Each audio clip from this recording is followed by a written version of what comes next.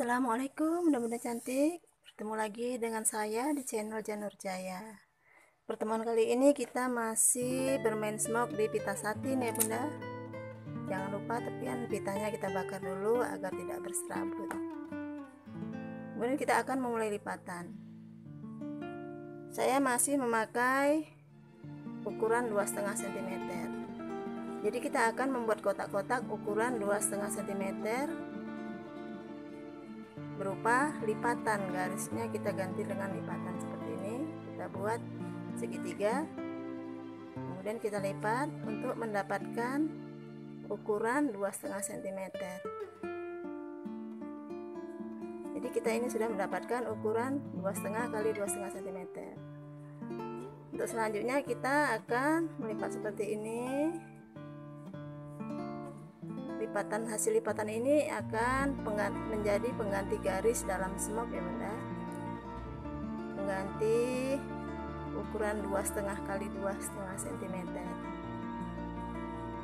kita lakukan lipatan seperti ini terus sampai mendapatkan panjang yang kita inginkan.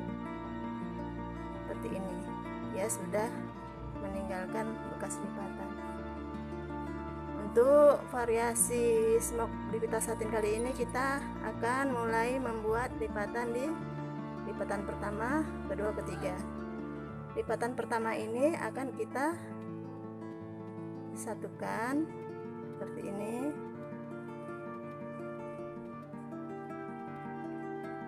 Kita akan mulai menjahit ya Bunda.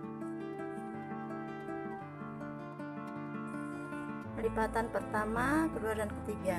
Lipatan pertama dan ketiga ini kita jahit di bagian tengahnya seperti ini Bunda. Di bagian dalamnya ya Bunda, kita satukan.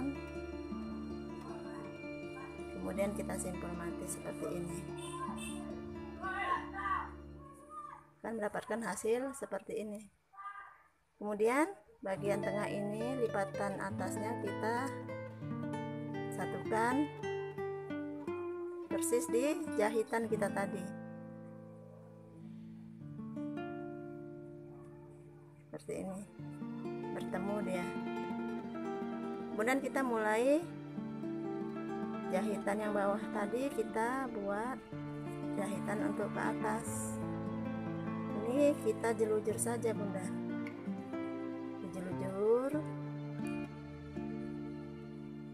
jaraknya sedikit saja kira-kira setengah sentimeter. Hasil jelujurannya ini kita serut seperti ini. Serut seperti ini membentuk pita. Kemudian kita simpul seperti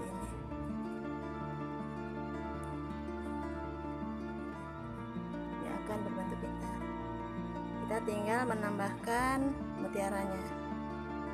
Saya pilih warna merah. Lalu kita satukan saja. Ini variasi smoke di pita yang sangat simple sangat sederhana tapi tetap saja cantik ya bunda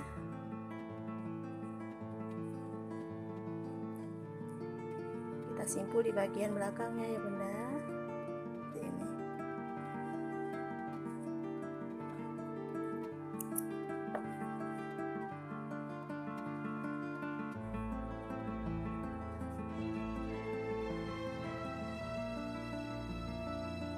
Satu dua tiga. Satu dan tiga ini kita pertemukan di bagian belakangnya. Kemudian jahit di bagian tengahnya persis seperti ini.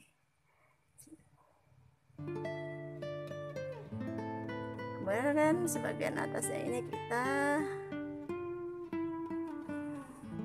lipatan atas yang kedua ini kita satukan dengan lipatan bawah ya bunda. Kita ulangi menyelujur juga seperti yang pertama tadi jahitan jelujurnya kita serut seperti ini. Dia akan menghasilkan bentuk pita.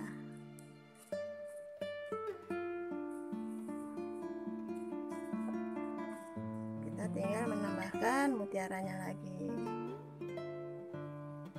Begitu seterusnya ya bunda. Sampai sepanjang yang kita inginkan. Kita sudah hampir selesai bunda. Lipatan satu dua tiga.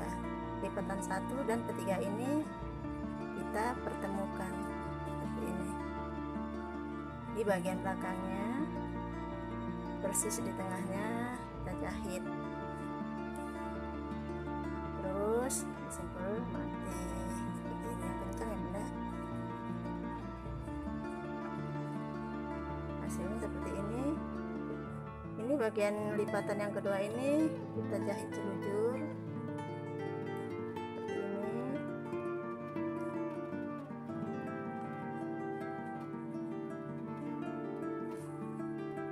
Kemudian hasil jahit celujurnya kita tarik kita serut seperti ini bunda.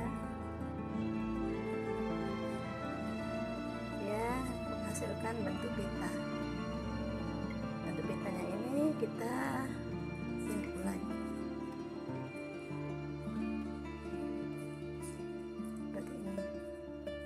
tinggal menambahkan mutiaranya.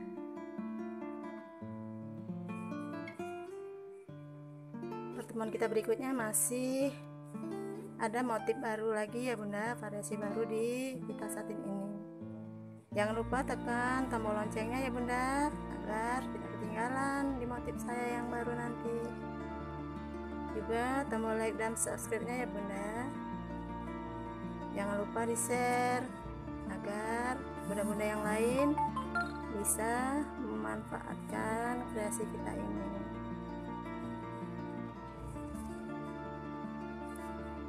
Variasi pita ini bisa kita aplikasikan ke bagian leher gaun anak-anak ya bunda. Karena ini bisa lengkung seperti ini. Dia bisa membentuk lingkaran. Ya bunda ini saya sudah buat beberapa warna oke bunda selamat mencoba selamat berkarya Sampai bertemu lagi di video saya yang akan datang. Assalamualaikum warahmatullahi wabarakatuh.